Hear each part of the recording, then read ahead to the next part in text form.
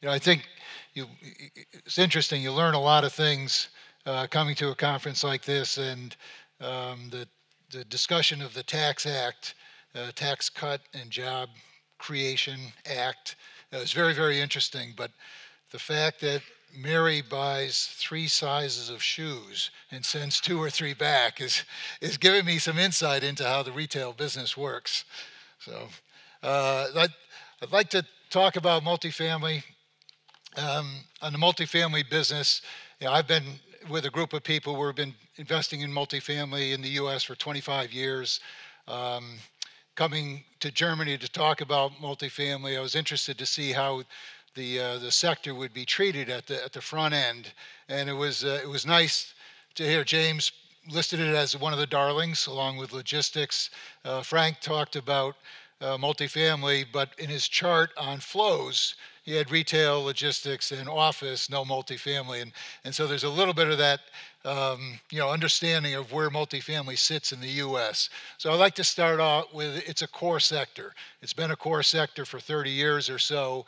And we look at the U.S. today, we have favorable demand drivers, and, and we talk about millennials, and I'll talk about millennials a little bit later, um, strong demographic and econ- economic trends. But as a core sector, these next three bullets, right, high long-term uh, historical occupancies, low historical capex reinvestment, and strong relative liquidity. So three really strong factors on core, core product. How do you define core product? Thought it was interesting, Joe had in his slide, capital reinvestment, that capex reinvestment at over 50% for office. Multifamily, it's the lowest capex reinvestment. I think on NCREIF, it's about 24%. Uh, so when we think about you know what multifamily does, it's an income producing uh, sector, income producing asset. It's a distribution asset, and that capex is is part of that. Down at the bottom here, this is that uh, wheel is transaction activity. So sales uh, from 2012 through 2016, that four year period, you'll see that apartments were 33%. They were the biggest transaction, biggest volume generator in, in the US, followed closely by office, then retail and, um, and logistics. Again, it's a core product, highly liquid. Um, it's very diverse as well. It's interesting. We've we've uh, we've heard that that that uh, multifamily is just not that traditional uh, apartment housing. It is student housing, it's senior housing, there's luxury housing, workforce housing. And when we think about the investment in multifamily, we do think diversification is, is how you should look at the U.S. when you think of housing and multifamily housing. So about a third of the U.S., uh, a little bit more, 37% of U.S. households are renter households. Um, in the middle, you'll see that household incomes are fairly evenly divided between low income, moderate income, and, and higher income households. So it's not, um, you know, it doesn't fall into one category. This is rental housing. It's across the, uh, the income, income levels.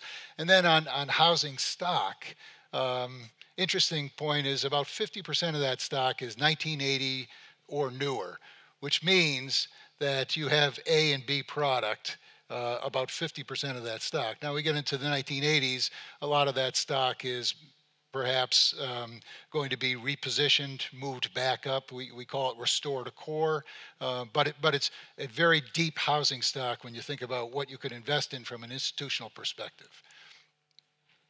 On the demand side, and I think the story when going forward is about demand, and it's driven in part by millennials, um, but we think about what what drives what drives demand starts with jobs, job creation, moves to household formation. Household formation drives housing demand, and then as you see, as we'll talk about this cohort, uh, rental housing is a big component of that housing demand. So we, we look back here, okay, the, the GFC, of course, job loss, but what we've had since call it 2012 forward is 2 million jobs a year being created in the U.S.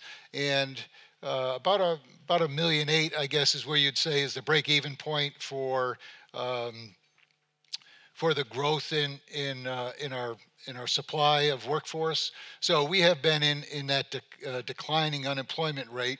Uh, going on for five or six years now, and the forecast is we're going to stay at that level, two million plus jobs on an annual basis. What that did for household formations is exactly what you'd expect. Um, GFC occurs, nobody has a job, particularly young people. Unemployment uh, for, for young graduates coming out of college was very, very uh, high unemployment. So, as soon as we started to recover jobs, another two years later, we started to generate households, and we're, we're on a very, very long stream. As a matter of fact, if you look at, at this period here, this is the longest uh, continuous job growth we've had in the U.S. Um, since 1940. So, uh, very, very good period. Look out at the forecast household formations. Long term average 1.2 million. Uh, we're forecasting 1.5 to 1.6 million over the next several years. Again, very, very high demand for housing going forward. Um, however, there's a supply side issue, and you've, you've, you've heard a lot about multifamily in the U.S. being oversupplied, and that chart on the right is, it talks to that issue. Um, so strong rent growth, multifamily led the recovery out of the GFC for, for sector. It was uh, had the highest occupancies. It, it had rent growth before the other sectors, and if you're, you're placing capital, where do you go? You go to multifamily. That's what happened, and, and eventually you had you, have had what we have right now, which is an oversupply over a long period of time. But if we look at the previous dozen years or so, it was an undersupply of multifamily. So we do have a, a bit of a catch up that's going on, and we look at where we are today, uh, we have a little bit of a moderating of, of uh, vacancy and rent growth, but we're still very positive in, in both those both those areas. Um, and then you'll see a very uh, significant fall off on the on the supply side, and some of that is government regulation, oversight onto onto lending, and some of that is in uh, competition for the trades. You'll also hear in the U.S. there's um, infrastructure, and President Trump is is looking to to um, grow the infra infrastructure, repair the infrastructure of the U.S. And as a trade, where, where, do you go? Do you go to housing or do you go to government spending? Government spending is where the money is. So you will see a, a fall off there. And then finally, um, what we've seen is the supply has been luxury supply and it's been in the top 10 markets. Uh, one, of, one of the speakers earlier talked about that flight to quality following, following the GFC. It's exactly what happened on the supply side, too. Go to the urban centers, top 10 markets, right? Luxury product. So that's, that's where, and when, when you look at the US, that's where there's some softness. What it has done, however, is opened up an opportunity on the B side. This is a forecast of Axiometrics um, data. It's a five year look forward. And this is a, the, the dots are the top 50 uh, markets in the U.S. And you can see the U.S. in the in the middle. Over the next five years, it's somewhere between two and a half and three percent rent growth, and just under 95% occupancy. That, that's a very, very healthy outlook. Then you look at the preponderance of dots in the middle, you see really a 3% rent growth and 95% or higher occupancy. Very, very stable. Again, income producing, even with a supply side, this is the, the five year forecast. So, on the demand side, what, what's going on? Uh, uh, we'll start in the top right chart, that's U.S. home ownership. Back under the uh, President Bush administration, there was a push for home ownership. And so you'll, you'll see in 2004, we peaked at uh, over 69% home ownership. And, and the thought behind that was if you look at statistics, neighborhoods that are, have single family ownership, they're safer. Uh, people reinvest in, in their housing. There's, there's higher retail. There's more stability in the jobs. So the thought process is we need to have more homeowners because we're going to get that result. The fallacy in that argument was we, we, we got to a point where there was no skin in the game. There was no skin in the game for the, for the buyer. There was no skin in the game for the lender because they were backed up by the federal government, by Fannie and Freddie. And so what we had is we had subprime lending, we had defaults, we had people moving out, um, moving out of their homes and declining home ownership, right? That, some, some would say that was a catalyst of the GFC.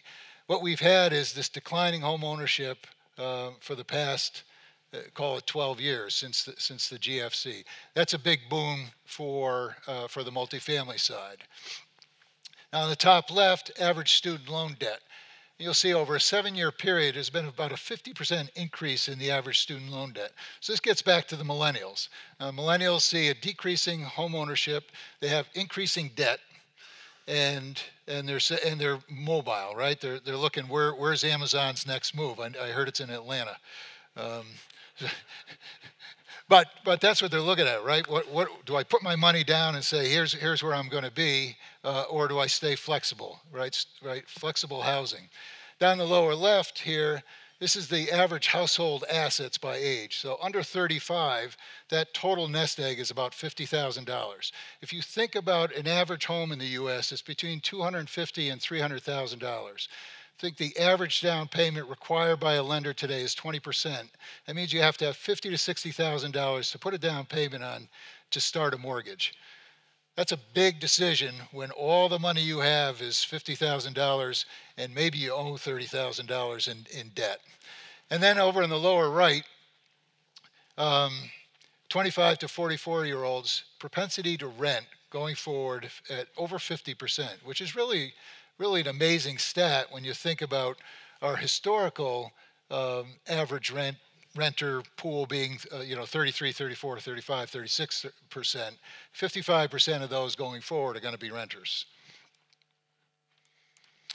Uh, this is uh, just a little bit of a top down from research how we look at, at things how our research department looks at things. Four categories labor markets which is employment growth unemployment commercial real estate fundamentals, vacancy and rent growth, capital markets, interest rates and risk appetite for investors, and then finally debt availability, debt for investment, debt for development. On the employment and uh, uh, growth and unemployment, very shiny, right? We, we, as I said, 2 million jobs, longest period of, uh, of employment growth in, in 80 years. Unemployment rate, we are at full employment at 4%, 4.1% unemployment. That means there is wage pressure. That's good thing, good thing for housing, ability for household formations, ability for people to, to uh, rent. Down in the uh, commercial real estate, vacancy and rent growth, a little bit cloudy, and that, that's a bit of the supply catching up. So when I think about today, 2018, I think there's a little bit of volatility that's in 2018. I think about a little bit longer term, multifamily is in a very, very good space capital markets, interest rates, and, and investor risk. Uh, partly sunny. Uh, we do have volatility in in um, in the S&P, even though we've we've hit the, the highest point ever just a couple of months ago. There is a, some volatility. The new uh, Tax Cut and Job Act. Now, now if you're going to call something right, Tax Cut and Job Creation Act, right? That's the way to do it. Um, you don't say, "Let's make rich people richer." Act, right? You say, Tax Cut and Job Act, right? That, that's it just sells well. So I think that that is a, a very positive uh, for capital markets. And then in, on the debt availability, there's plenty of debt for stabilized properties, income, income producing properties, and there's a pullback on availability of debt for development. So I think for existing uh, multifamily, that's a very positive. Uh, we tend to, to look at, at the U.S. Um, multifamily market as uh, as hitting middle America, right? So you'll hear a lot about if you read about housing today in, in the U.S., it's housing affordability is a crisis, and so how do we take care of middle America? And so we think about investing in multifamily. The hub is is hitting that demand, that component of middle America, and how do you provide housing for middle America? And regardless of where we are in the cycle, that demand stays pretty constant. Um, and I'll, uh, next chart, I'll, I'll, show a little bit of, of where I see mi Middle America um, occurring. And then outside the wheel, based on the economic cycle, there are different strategies that complement that Middle America housing. And so we, we would say we're still in that expanding market, maybe a little bit on, uh, you know, toward the, the 12 o'clock hour, right? A little bit mature, uh, but still seasoned core and restored a core. Uh, if we, we do think there's an extended period that we're on, but if we do hit a declining market at some point in the future, student housing, senior housing, workforce housing, you think about student housing when, when the economy's down, students go up, right? An alternative to work is education. Uh, seniors, you can't get rid of them, right? They're going to have to live someplace.